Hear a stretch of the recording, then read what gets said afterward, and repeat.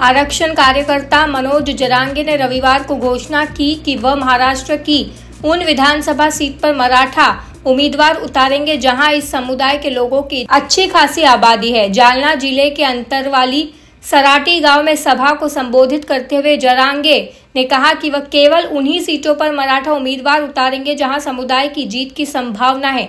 जरांगे ने कहा कि उनका समूह अनुसूचित जाति और अनुसूचित जनजाति के लिए आरक्षित क्षेत्रों में मराठा मुद्दों का समर्थन करने वाले अन्य उम्मीदवारों का समर्थन करेगा। आरक्षण कार्यकर्ता मनोज जरांगे ने रविवार को घोषणा की कि वह महाराष्ट्र की उन विधानसभा सीट पर मराठा उम्मीदवार उतारेंगे जहाँ इस समुदाय के लोगों की अच्छी खासी आबादी है। जालना ज़िले के अंतरवाली सराटी गाँव में सभा को संबोधित करते हुए जरांगे ने कहा कि वह केवल उन्हीं सीटों पर मराठा उम्मीदवार उतारेंगे जहाँ समुदाय की जीत की संभावना है।